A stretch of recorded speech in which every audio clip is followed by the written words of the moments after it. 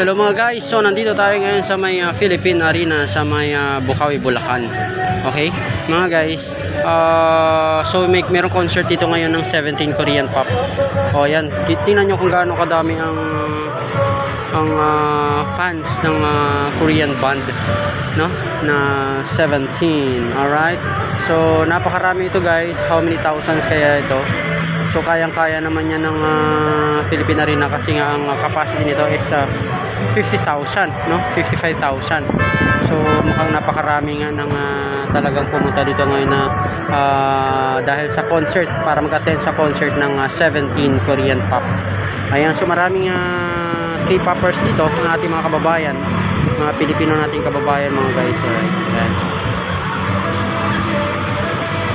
Ayan, so pila niyan ang dami niyan dyan. So gaano kalaki ang uh, Philippine Arena. Ayan, so wala pa ngayon hindi pa sa uh, haba niyan ang dami niyan. Mukhang uh, hindi lang natin masasabi dahil sobrang dami talaga nitong uh, uh, mga fans no ng uh, 17 Korean uh, K-pop Korean band. Ito pa. Napakarami niyan so gaano sila kadami hindi pa nakapasok yung mga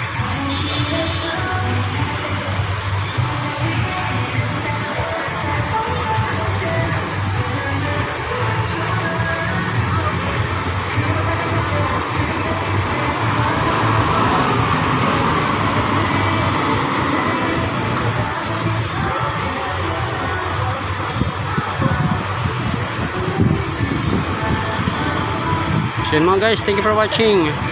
Sana nagkaroon kayo ng idea na napakarami nga talagang uh, pumunta dito sa may uh, uh, Philippine Arena ngayong uh, uh, December 17, 2022, araw ng Sabado. O Philippine Arena.